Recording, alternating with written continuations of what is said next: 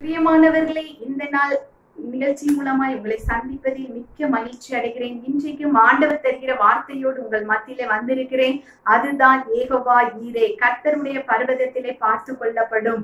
இந்த வார்த்தையை ஆகமும் இருபத்தி இரண்டாவது அதிகாரம் பதினான்காம் வசனத்திலே வாசிக்கிறோம்.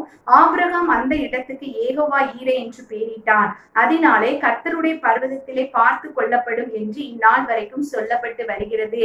இந்த நாளிலே பல தேவையோடு பலவிதமான கலக்கத்தோடு இருக்கிற இருக்கிற தேவ பிள்ளைகளே கர்த்தர் சொல்லுகிறார் நான் உன் தேவைகளை பார்த்து கொள்வேன் கர்த்தருடைய பர்வதத்தில எல்லாம் பார்த்து கொள்ளப்படும் என்று சொல்லு. அந்த கர்த்தர் நம்முடைய தேவைகளை பார்த்து நமக்கு ஏற்ற நேரத்திலே செவி சாய்க்க வேண்டுமானால் இது ஆபிரகாம் வாழ்க்கையிலே கர்த்தர் அப்படியாக செய்தார். நம் வாழ்விலேயும் செய்ய சில காரியங்கள் நாம் செய்ய வேண்டியதா இருக்கிறது. ரொம்ப சிம்பிளான காரியம்தான். நாம் அதற்கு கீழ்ப்படியும் போது கர்த்தர் நிச்சயமாக செய்வார். எப்படி என்றால் நாம் அநேக நேரங்களிலே கர்த்தர் கர்த்தரிடத்துல சில ஆசீர்வாதங்களை கேட்கிறோம். ஆண்டவரே எனக்கு வேலையை தாங்க எனக்கு கொஞ்சம் ரெஸ்ட் தாங்க எனக்கு குழந்தை தாங்க எனக்கு ஒரு ஆசீர்வாதத்தை தாங்க என்று கேட்கிறோம். கேட்டு நாம் என்ன செய்கிறோம்? ஆண்டவரே இப்படிலாம் நீங்க தரும் பொழுது நான் உங்களோட அதிகமா நான் டைம் ஸ்பெண்ட் பண்ணுவேன். நான் உங்களுக்காக கொடுப்பேன் ஊழியர்களை தாங்குவேன் திக்கற்ற பிள்ளைகளுக்கு உதவி செய்வேன். நான் உங்களோட கூட இருப்பேன் என்று சொல்ல பல நேரங்களில் புலம்பி நெருக்கம் நீங்க கேட்கிறோம். ஆண்டவர் நம்முடைய ஜெபத்திற்கு பதில் தந்து சில ஆசீர்வாதங்களை தருகிறார்.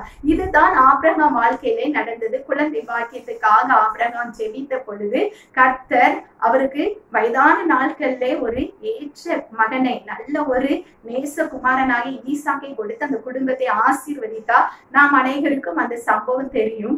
ஆனால் நான் நினைக்கிறேன் இந்த வசனத்தை தியானிக்கும் பொழுது ஒருவேளை ஏன் ஆண்டவர் அவனை சோதித்தார் என்று சொல்லப்பட்டிருக்கின்றால் அதிகமா இந்த குழந்தையோடு ஈசாக்கோடு அவன் நேரத்தை செலவி இருப்பான் ஆண்டவரோடு இருந்தவன் இப்பொழுது என்ன செய்ய ஆரம்பித்து விட்டான்? தன் ஏகசுத நேசகுமாரன் ஆகிய ஈசாக்கோடு கொஞ்சி விளையாடி நேரமெல்லாம் அவனோடயே இருக்கும் பொழுது கர்த்தர் ஒருவேளை ஆபிரகாம் என்னை காட்டிலும் பிள்ளையை நேசிக்கிறானா?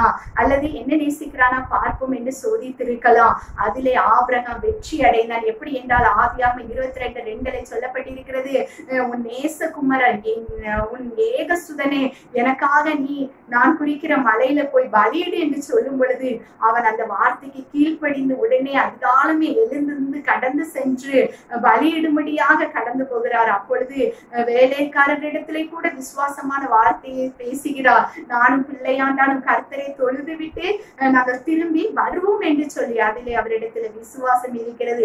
அது மாத்திரம் அல்ல அப்பொழுது எல்லாம் இருக்கிறது. ஆனால் மகன் ஈசாக்கு கேட்கிறான் அப்பா தகன பலிக்கான ஆட்டுக்குட்டி எங்கப்பா விறகு வச்சிருக்கிறோம் பலிபிட இருக்கு எல்லாம் இருக்கு அப்படி சொல்லும் பொழுது பலி பலிக்கான ஆடை கர்த்தர் பார்த்து கொள்வார் மகனை என்று சொல்லுகிறார். அது மாத்திரமல்ல தன் மகனையே பலியிட அவன் என்ன செய்கிறான்? கர்த்தர்களை தன்னை திடப்படுத்தி அந்த பலிபிடத்திலே வைக்கும் பொழுது கத்தியை எடுக்கும் பொழுதுதான் வானத்திலிருந்து கத்துடைய தூதனானவர் ஆப்ரஹாமி ஆப்ரஹாமே பிள்ளையின் மேல கையை போட்டு விடாதே என்று சொல்லி எவ்வளவு ஒரு கீழ்ப்படிதலோடு கூட தேவனுக்காக அவன் எதையும் செய்ய தன்னுடைய எவ்வளவோ வயசுல பிறந்த அந்த குழந்தைய கூட அர்ப்பணிக்க முன் வந்ததை நாம் பார்க்கிறோம். அதன் பிறகு கத்த சொல்லுகிறார் நான் என்ன என்ன செய்ய போகிறேன்? நீ என் வார்த்தைக்கு கீழ்ப்படிந்தபடினா உன்னை நான் ஆசீர்வதிப்பேன். என் சொல்லுக்கு நீ கீழ்ப்படிந்தபடினா பூமியில் உள்ள வம்சங்கள் எல்லாம் உன் சந்ததிக்குள் எல்லாம் ஆசீர்வாதமா இருக்கும் என்று சொல்லி ஹாலே லூயா இன்றைக்கு ஆசீர்வாதம் வேண்டும். என் வாழ்க்கையில இருக்கிற கஷ்டம் மாற வேண்டும். வறுமை நீங்க வேண்டும். கடன் பிரச்சனை நீங்க வேண்டும் என்று புலம்பிக் கொண்டிருக்கிற அருமையான தேவ பிள்ளைகளே கர்த்தருடைய வார்த்தைக்கு கீழ்ப்படிவோம். ஆமேன். அந்த ஆபிரகாம் கீழ்ப்படிந்தது போல அவருடைய வார்த்தை உங்களுக்கு நேராக கடந்து வரும் பொழுது இந்த உறவை நீ விட்டுவிடு. இதை எனக்காகத்தான் என்னுடைய சமூகத்திலே நீ ஜெபி. இந்த ஆண்டவர் உங்களோட ஒவ்வொரு நிமிடமும் எதை உணர்த்தி பேசிக் கொண்டிருக்கிறாரோ அதற்கு நீங்க உடனே அர்ப்பணித்து கீழ்ப்படியும் பொழுது உங்கள் தேவைகளை எல்லாம் கர்த்தர் பார்த்து கொண்டு உங்கள் குறைவை எல்லாம் கர்த்தர் மகிமையிலே நிறைவாய் மாற்றுவார். கேட்ட வார்த்தைக்காக நாம் ஒரு நிமிடம் தலை தாழ்த்தி ஜெபிப்போமா? எங்கள் அன்பின் பரலோக தகப்பனே உமக்கு நன்றி செலுத்துகிறோம் அப்பா இந்த நாளிலேயும் கர்த்தாவே நீ தந்த நல்ல வார்த்தைக்காய் நன்றி. இந்த வார்த்தை கேட்டுக்கொண்டிருக்கிற ஒவ்வொருவரையும் ஆசீர்வதிங்கப்பா. அவர்கள் தேவைகள் எல்லாம் சந்திங்க. ஆபிரகாமை போல விசுவாசத்திலும் கீழ்ப்படிதலிலும் ஆண்டவரை சிறந்து காணப்பட கர்த்தர் உதவி செய்யுங்க கவலைகள் கஷ்டங்கள் கண்ணீர்கள் எல்லாம் மாறட்டும். பிள்ளைகள் வேதனைகள் நீங்கட்டும். பெரிய காரியம் செய்ய ஆசீர்வதிங்க.